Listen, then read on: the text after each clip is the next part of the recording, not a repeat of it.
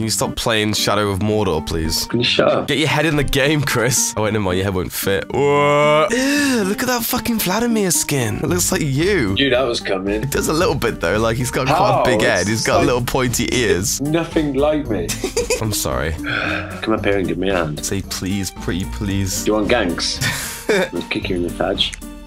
There we go. Yeah, he missed the badge. That was more like in the face. The school. Oh, Damn no. it. Now we lose. First blood game. That's my philosophy. Got him. Badamir, am I right? One. Thanks, mate. I'm glad you enjoyed my bants. So, what are you planning for today, Chris? Nothing till five. Not even like having a wank? Oh, I've had two already. Of course you have. Standard, Chris. See, this is why I was always naughty at school. Because Fiora would spank me with that fucking ruler. I have a friend, actually, and uh, she has a cousin. She always says he loves butt stuff. Because he'll say stuff like, spank me if it's true. What the fuck? He had some little girl like a chokehold or some shit. And she was like, get off me! And he was like, took my you want me to get off. What, this was a school teacher?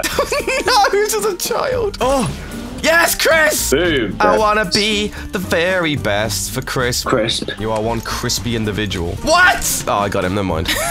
it looks like Fiora just had a period. That sounds really gross. Ekko's fucked. Yep. There he is. Ugh. If someone said to you, like, I'll pay you a grand if I can put this ruler in your ass, would you do it? Uh, no. Uh, yeah, you would. For a thousand pounds? No, it depends how far. how far? Not like, you know, to the point where it's gonna make you bleed. Mine. It's alright, you're a jungler. Like, it's your thing. I don't mind, mate. I'm a nice guy. I'm a, I'm a giving person, unlike you. Well, you give a fucking blowjobs to your dad. That's you, mate. I wish. Your dad's too good for me. Why is this big bird all by itself? Where the fuck is its little children? I hate you, Dad! They ran away. Oh, shit. It's bad. It's bad. Mate, stay, stay. Don't leave me. Don't leave me. don't leave me. Don't leave me. First thing you do is run away. You put a dildo in your ass if someone paid you like $100? Hundred dollars for a dildo in my ass. Yeah. Nah. I'll do it for fucking free, mate. Oh, just went to find Baron and there's nothing there. Twats.